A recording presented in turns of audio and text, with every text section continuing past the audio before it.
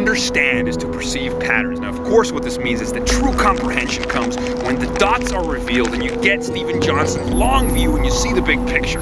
This is this idea about patterns, patterns, patterns, recurring patterns across different scales of reality. You know, Paul Stamets talks about the mycelial archetype and how the information sharing systems that comprise the internet look exactly like computer models of dark matter in the universe, look exactly like the neurons in a brain. They all share the same intertwingle filamental structure. It's the rise of networkism as big data advocates talk about how man-made systems are looking exactly like natural systems. The more we can measure, the more we can visualize, the more we can visualize, the more expands our consciousness by seeing these recurring patterns across scales of reality. It blows my mind. And I think that technology increasingly is becoming a, a, an, an expander of human consciousness. It extends our thought, reach, and vision and revealing so much more. It's like, whereas once I was blind, now I can see.